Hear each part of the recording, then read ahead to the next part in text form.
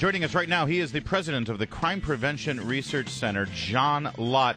Uh, John, there's so much stuff in the news about guns and gun control, especially here in Virginia with the new uh, legislation, uh, the new legislator uh, taking their, their seats there. We want to get into that, but I want to ask you about your new book, Dumbing Down the Courts How Politics Keeps the Smartest Judges Off the Bench. This is a pet peeve of mine. We've got three co equal branches of government the executive, the legislative, and the judicial. Seems like the media really only focuses on the first two, the judicial branch really gets ignored. Is do we have a crisis in our courts right now?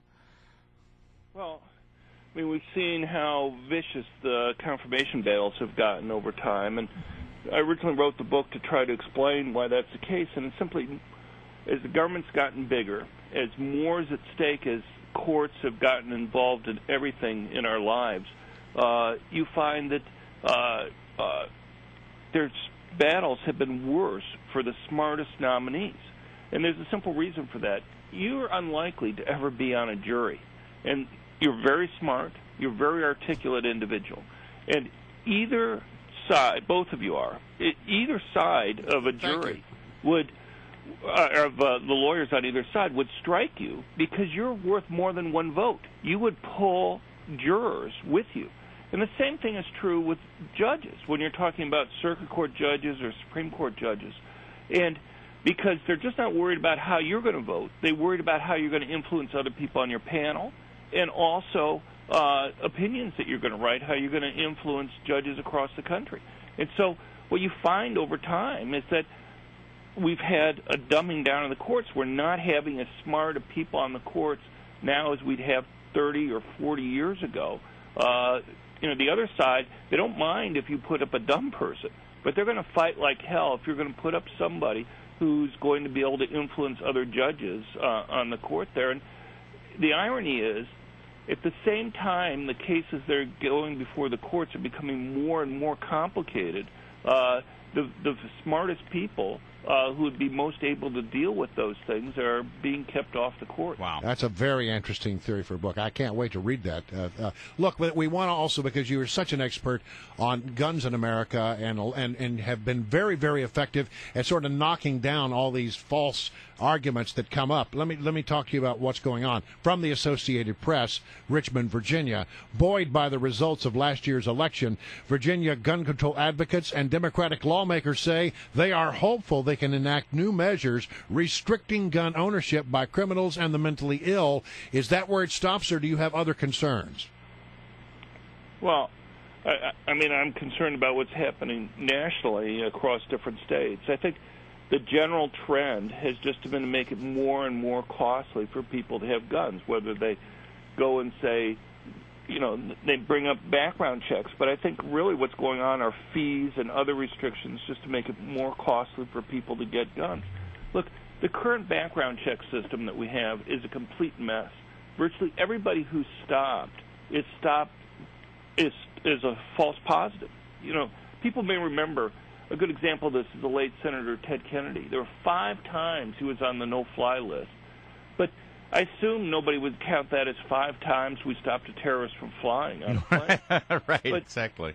But when when the president goes and says that there are two million prohibited people that have been stopped from uh, from uh, buying a gun, what he really should be saying is there have been two million initial denials, and so when you go and you add millions more names, uh, you know, for people who have mental illness. What you're really ending up picking up are m- millions of people who have names similar to those people uh, who are wow. actually the ones who are going to be stopped. And the first thing that they need to do before they go and expand this is to is to fix these problems. If private companies had anywhere near the false positive rate that the government has when it does its background checks, because companies do criminal background checks for employees all the time, these companies would be sued out of existence. And the problem is, when you have 2 million people, and virtually all of them are false positives, you're going to end up with a large number of people who really need to get a gun quickly for self defense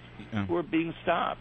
And those types of costs in the system are never really talked about. See, and, and here's what I perceive as the problem, John Lott, because you know you're you look at the statistics, you look at the actual results, you look at the numbers, and you look at reports, and you come up with a fact-based and logical conclusion. On the other side, they have emotion, they have stories, they have this one incident that then drives the political conversation. And now we've got I don't know if you heard this, I want to play it for you. Harvey Weinstein, big Hollywood mogul, Right. he's planning a film. Listen to this. Do you own a gun? No. You don't have any guns? I never want to have a gun. I don't think we need guns in this country. And I hate it. And I think the NRA is a disaster area. And I'm going to actually make a movie. I shouldn't say this, but I'll tell it to you, Howard.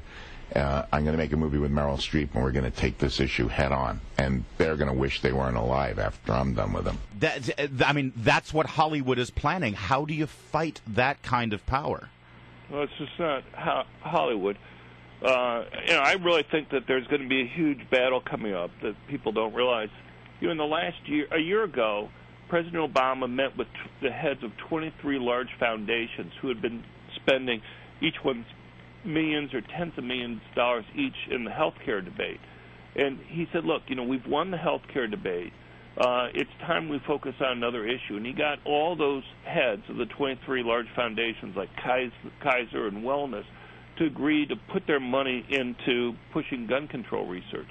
You have Mayor Bloomberg's not just putting out ads in places like the Virginia gubernatorial race, but he he announced about a year ago putting up 250 million dollars for the Bloomberg School of Public Health at Johns Hopkins to primarily hire more academics to go and do gun control research.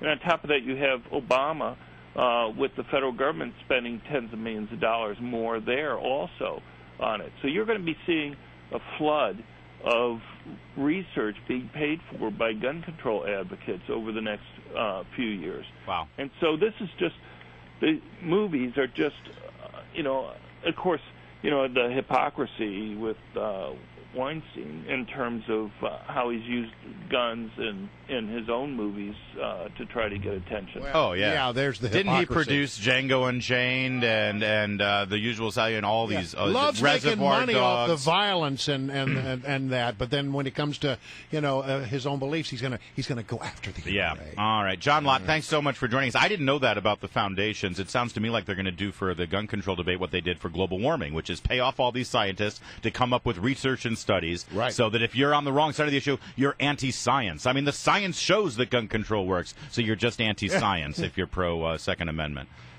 Uh, John Lott, uh, uh, thanks again for joining us. Dumbing down the courts: how politics keeps the smartest judges off.